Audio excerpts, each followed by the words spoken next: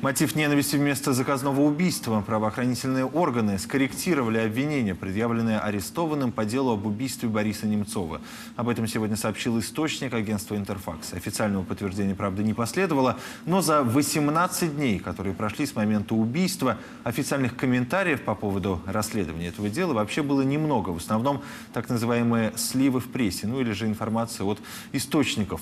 Люди, кажется, уже не слишком верят тому, что реальные обстоятельства этого преступления станут известны, тем более, что в случае расследования так называемых громких или резонансных убийств в Российской Федерации за последние 20 лет э, очень редко дело доходило до того, чтобы заказчики оказывались на скамье подсудимых. При этом на само место убийства Бориса Немцова, на Большой Москворецкий мост, всего в нескольких сотнях метров от Кремля, все еще приносят свечи и цветы. Там сейчас находится моя коллега Маргарита Журавлева. От нее узнаем последние детали о расследовании, о том, много ли людей на мосту, много ли цветов на мосту сейчас, спустя почти три недели после убийства. Маргарита, добрый вечер. Тебе слово.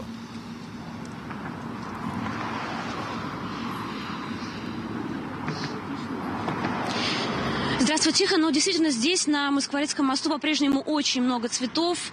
Э, такой вот, практически, ну, так можно выразиться, холм из цветов на том месте, где лежал Борис Немцов, э, где э, в него стреляли. Очень много цветов лежит на парапете, вот буквально от начала э, Москворецкого моста вот до э, лестницы. То есть все вот это пространство занято цветами. Здесь э, в нескольких местах стоят таблички, на которых написано, сколько дней прошло с момента убийства. Здесь, как видите, много свечей, икон иконы, фотографии Бориса Немцова. В общем, такой вот получается уже народный мемориал, и э, у многих складывается впечатление, что э, кто-то за этим местом присматривает. Это действительно так.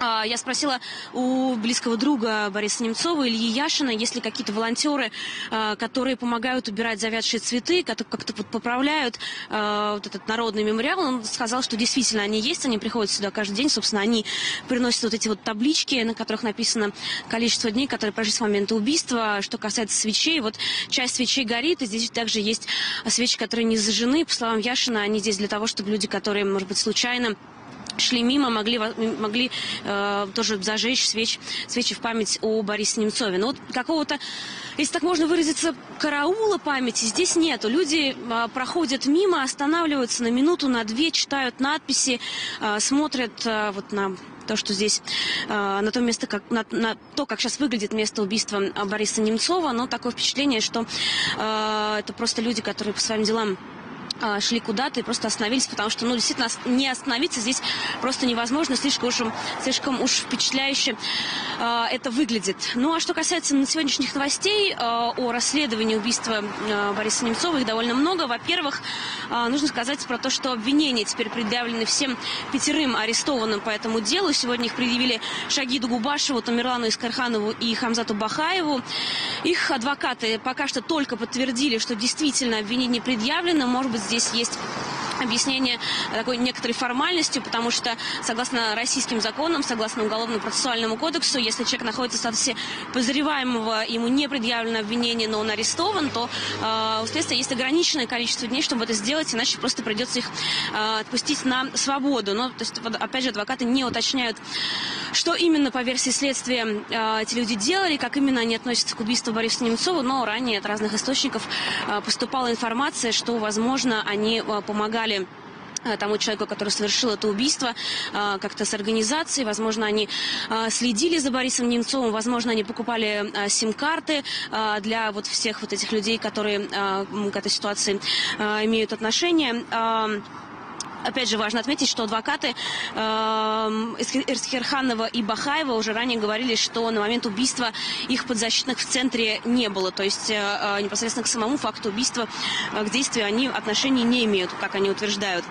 Э, еще одно уточнение. Источник Интерфакса сегодня рассказал, что братья Губашевы, судя по всему, забрали на машине э, убийцу Бориса Немцова. То есть они подъехали вот с той э, стороны, ну а убийцей следователи на данный момент называют... Э, Заура Дадаева, и, пожалуй, о нем на данный момент известно больше всего. О нем тоже есть новости. Сегодня сразу две газеты написали о нем большие тексты. Так в «Коммерсанте» текст называется «Заур Дадаев хорошо стрелял». Это цитата э, его сослуживца по батальону «Север», с которым поговорил «Коммерсант». И из соображений безопасности «Коммерсант» называет его Сулимом.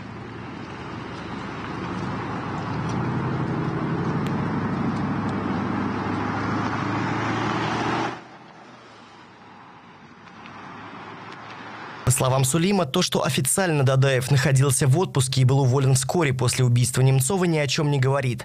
По его словам, бюрократии в батальоне вообще уделяли не очень много внимания. «Мы часто сопровождали в Москву различных чиновников», — сказал он. «Такие поездки обычно задним числом оформлялись как командировки. Тебе говорят, надо собраться за 15 минут, кидаешь в машину автомат. Даже камуфляж не переодеваешь. По дороге или уже в Москве просто покупали нам гражданскую одежду. Селили либо в квартиру, либо в гостиницу. Дадаев отлично стрелял, поэтому 4 попадания из 7 для него это невозможно. Кроме того, Сулима удивил выбор оружия и патронов. По его словам, если бы боец батальона собирался убивать, он бы не искал патроны по складам, а воспользовался вооружением, которое изымается во время спецоперации у боевиков. Ясно, что какие-то стволы могут не учитываться, так почему не взять их, а не какой-то ненадежный расточенный пистолет?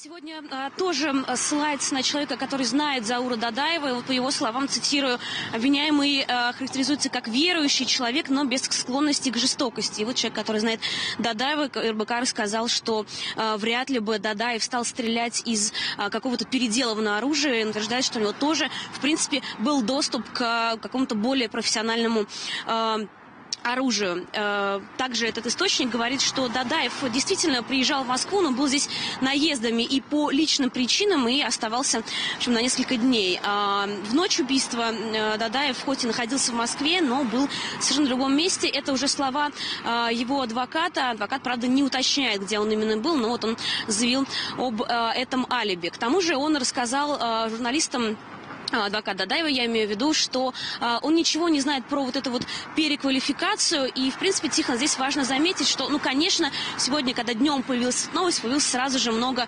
различных таких конспирологических теорий, таких э, разочарованных мнений, что, наверное, никогда полностью это убийство не будет раскрыто. Но вот здесь все-таки стоит заметить, что вот эта возможная переквалификация, которая, возможно, имела место, э, может значить в том числе то, что следователям просто пока что не удалось установить какие-то каналы получения денег. Просто дело в том, что согласно постановлению Пленума Верховного Суда, который разъясняет, а, как должны в России действовать эм, законы, что точно имеется в виду, например, в Уголовном кодексе, что если речь идет про наемное а, убийство, убийство, совершенное по найму, именно такая формулировка прописана в законе, то речь должна именно идти про какое-то денежное вознаграждение от заказчика к исполнителю. Ну или хотя бы не денежное, но в любом случае получение каких-то благ. То есть, может быть, вот эта возможная переквалификация идентификация пока что связана просто с недостатком информации у следствия. Тихон. Спасибо, моя коллега Маргарита Журавлева с Большого Скорецкого моста, где а, сегодня, спустя почти три недели после убийства Бориса Немцова, по-прежнему остаются свечи, остаются цветы, которые туда приносят а, люди. Это всего в нескольких сотнях метров от а, Московского Кремля.